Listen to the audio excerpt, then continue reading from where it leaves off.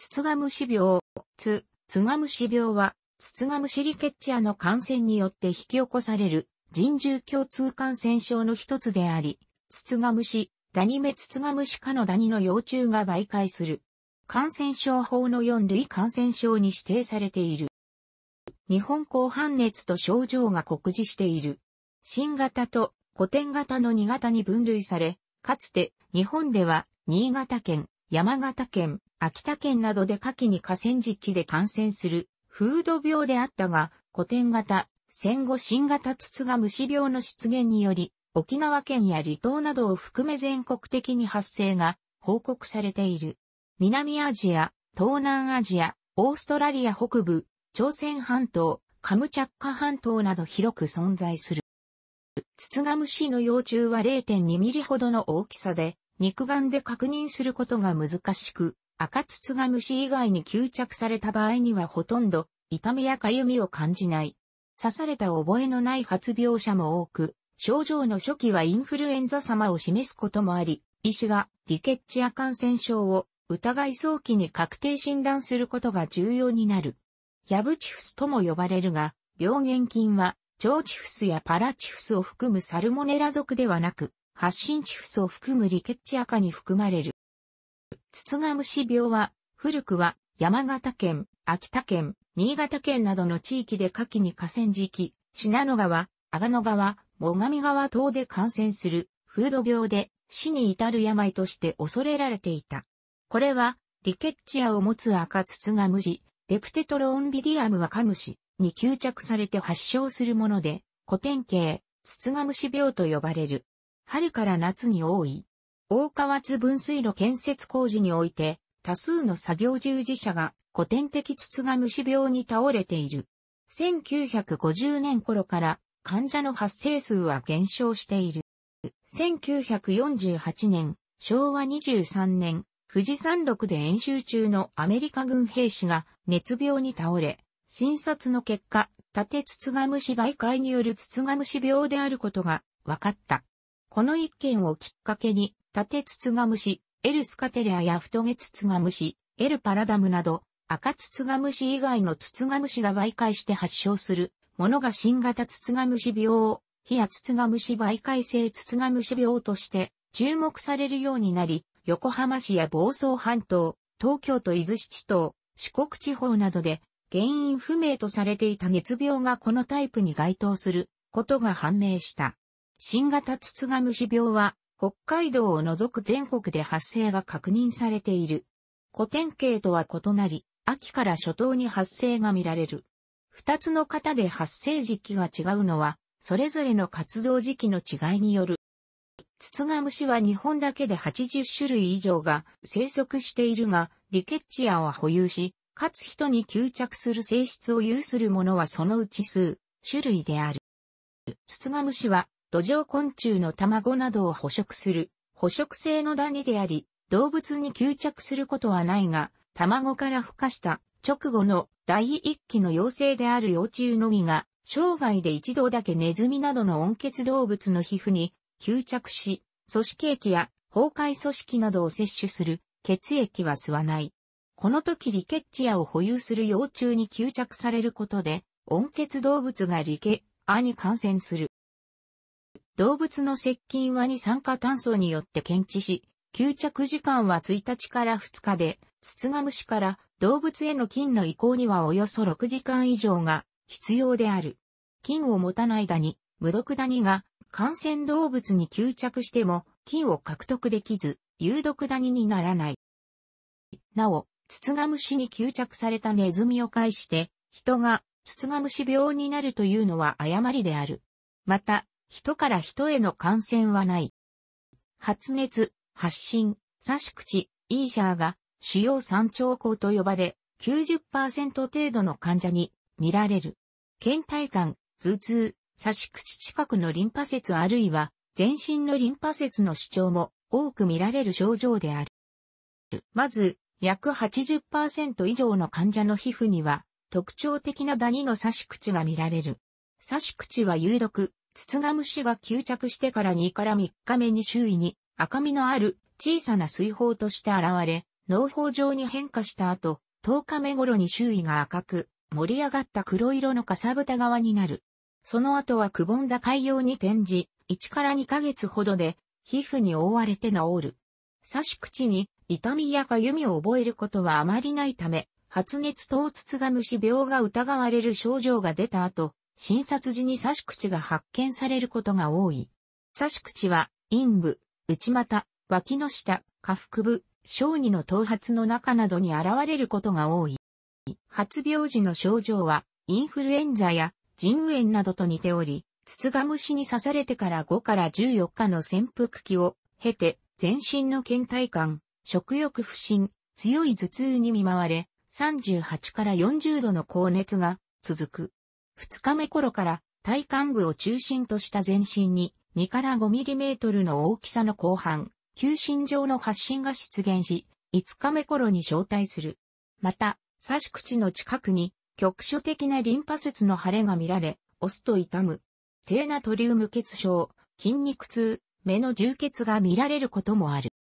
早期に診断がつき適切な治療が行われれば、速やかに治癒するが、治療が適切でない場合は、症状が長引く。重症例では、髄膜脳炎、波種性血管内凝固症候群や多臓器不全で死亡することもある。筒ガムシ病における死亡例のほとんどは、筒ガムシ病と診断されないまま波種性血管内凝固症候群となった患者である。臨床検査では以下のような傾向が見られる。ただし、臨床検査所見だけを根拠に、筒ガムシ病と診断されることはない。診断のポイントは、刺し口と筒ガムシに対する血清抗体の測定である。ただし、刺し口は、腹部、背部に多く発見しにくい。検査所見は、日本高反熱のものと類似するため、鑑別が必要。特徴的な後半発疹が現れない例では、確定診断が遅れ重症化する場合もある。筒が虫病が疑われる症状や発症の経緯があり、さらに刺し口が見つかれば9割以上の確率で筒が虫病であるとされるが、最終的な確定診断は血清診断をもとに行われる。関節傾向抗体法、EFO、または関節免疫ペルオキシダーゼ、IPA という方法を使って測定が可能である。標準型、加藤型、カープ型、ギリアム型は保険適用だが、黒木型、川崎型は保険が効かず、研究機関等でしか行えない。標準型だけの検査では、感染を診断できない例があるため、新型も含めた検査が必要と考える意見もある。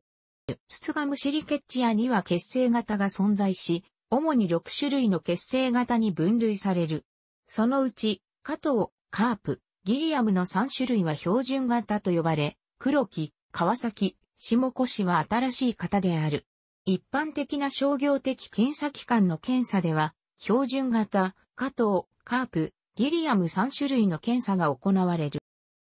テトラサイクリン系の抗菌薬が第一選択である。ほか、クロラムフェニコールも使用される。有効な薬が適切な方法で投与されれば2日ほどで解熱し解放へ向かう一方、早期に十分量、必要期間服用しないと悪化するケースがある。リケッチアの生物学的特性のため、細胞壁がペプチドグリカンを持たないペニシリンをはじめとするベータラクタム系抗物質は無効である。ベータラクタム系抗生物質の投与が功をそうしない熱性発疹症については、筒ガムシ病を疑い、テトラサイクリン系の抗菌薬による治療を開始することが望ましいとされる。ただし、テトラサイクリン系の薬を投与してから3日目の時点で解熱など病状に改善が見られない場合、筒ガムシ病ではない可能性が高まる。予防ワクチンのない筒ガムシ病には、筒ガムシに刺されないための以下のような予防法がある。誤った方法として、アルコールや除光液を塗る、ライター、マッチの火を近づけるなどの方法が言われているが、効果はない。症状の原因となる唾液を傷口周辺に広げることになる。ただしこうした予防策は非効率であり、早期診断、早期治療の効果に及ばないとされる。日本では新潟県信濃川及び阿賀野川、流域、秋田県小物川流域、山形県最上川流域などの河川敷で赤ツツガムシに刺されたことによるツツガムシ病が多く見られ、1800年代初期の文献には、毛田に、陽の虫による病気であるとする記述が見られる。こうした地域では、住民が、毛谷神社、毛谷地蔵、毛谷の道庫を建立し、無病息災を祈った。明治時代に、秋田県や新潟県で、年間数百人の患者が確認された後、感染者数は減少に転じた。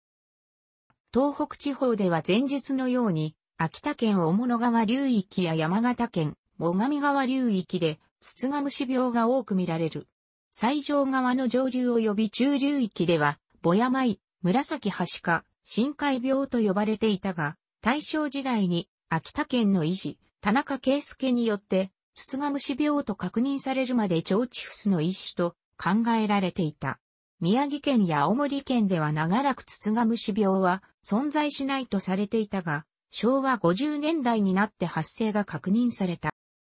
東京都では伊豆七島で1951年、昭和26年に発生が確認された。昭和50年代以降は、本州での発生が確認されるようになった。ほとんどは、東京以外の地域で感染したと考えられているが、中には、都内での感染が確実視されているケースもある。千葉県では、昭和20年代後半に、房総半島南部で、初加熱と呼ばれる熱病がツツガムシ病であることが確認された。神奈川県では1949年、昭和24年に横浜市内でツツガムシ病が発生して、鶴見型ツツガムシ病と呼ばれた。昭和30年代には、神奈川県衛生研究所が、県西部山岳地帯から湯河原にかけて有毒、ツツガムシの生息を確認した。茨城県、栃木県、群馬県、埼玉県では、昭和50年代に発生が確認されている。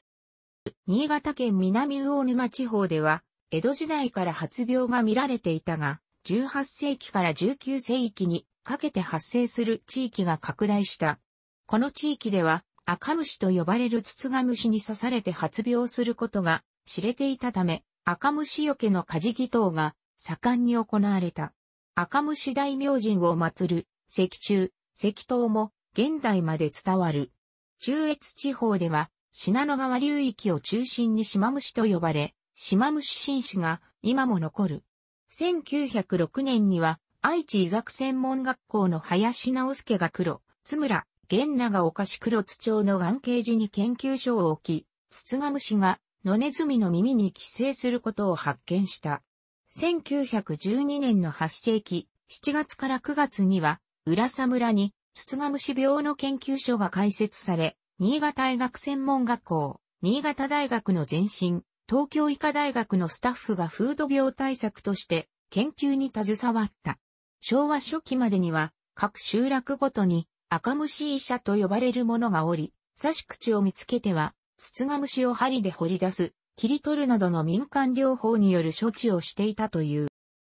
福井県では1955年、昭和30年に行われたリケッチや生息調査の結果、有毒ダニの生息が確認され、昭和50年代に入り、患者の発生が確認された。富山県でも昭和50年代に発生が確認されている。石川県では昭和50年代に初めてツツガムシ病の届け出がされた。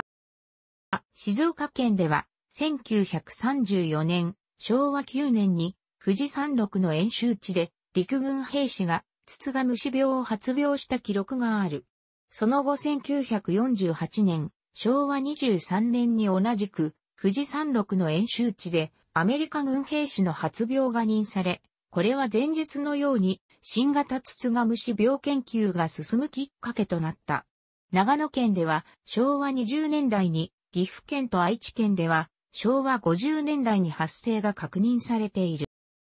大阪府及び三重県では昭和30年代に、兵庫県では昭和50年代に初めてツツガムシ病の届け出があった。京都府では昭和50年代に患者が確認されている。和歌山県では1986年、昭和61年に大阪府で感染した事例について届け出られた後、1989年、平成元年になって患者が確認された。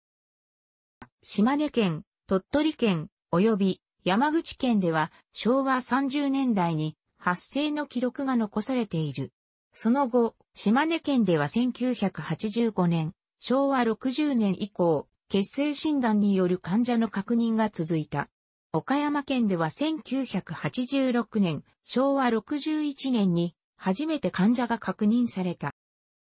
高知県では古くから発半熱と呼ばれる発疹を伴う熱病が存在していたが、1945年、昭和20年になってこの疾患が、土佐ツツガムシと呼ばれるツツガムシが媒介する、ツツガムシ病である子が判明し、四国型ツツガムシ病と呼ばれている。徳島県では1989年、平成元年に患者が確認されたほか、昭和50年代後半に、ツツガムシ病と同じく高熱と発疹を伴うリケッチア感染症でる日本高半熱が発見されている。鹿児島県では古くから大隅熱と呼ばれる発疹を伴う熱病があったが、1980年、昭和55年になってこの熱病が、ツツガムシ病であることが判明し、以降患者の発生が相次いで報告されるようになった。鹿児島県における患者数は九州地方の他県と比べて非常に多い。宮崎県では昭和30年代に初めてツツガムシ病の症例が報告され、鹿児島県の大隅熱がツツガムシ病と判明するまでは九州地方唯一の発生地と考えられていた。長崎県では昭和50年代に本州及び平戸島で患者が確認された。五島列島でも昭和50年代に発生が確認され、調査の結果五島列島には四国型ツツガムシ病を媒介する土佐ツツジムシが生息しており、島民の多くがツツガムシ病の抗体を保有している子が明らかとなった。大分県では昭和40年代に、熊本県と佐賀県では昭和50年代に初めて患者の届け出があった。福岡県では昭和50年代以降の調査によりツツガムシの生息を確認していたが、1986年、昭和61年になって初めて患者の発生が確認された。手紙などで相手の安否などを確認するための上等句として使われる、つつがなくお過ごしでしょうかの、つつがなくとは、つつが虫に刺されず、お元気でしょうかという意味から来ているとする説が広く信じられているが、これは誤りである。もともと、陽、筒がは、病気や災難という意味であり、そうでない状態として、筒がないという慣用句ができた。これと別に、正体不明の虫刺されの後に発症する、原因不明の致死的な病気があり、それは、筒が虫、筒が虫という妖怪に刺されて発症すると信じられていた。これを、筒が虫病と呼んだわけだが、後に微細なダニの一種に媒介される感染症であることが判明し、そこからこのダニをツツガムシと命名したものである。楽しくご覧になりましたら、購読と良いです。クリックしてください。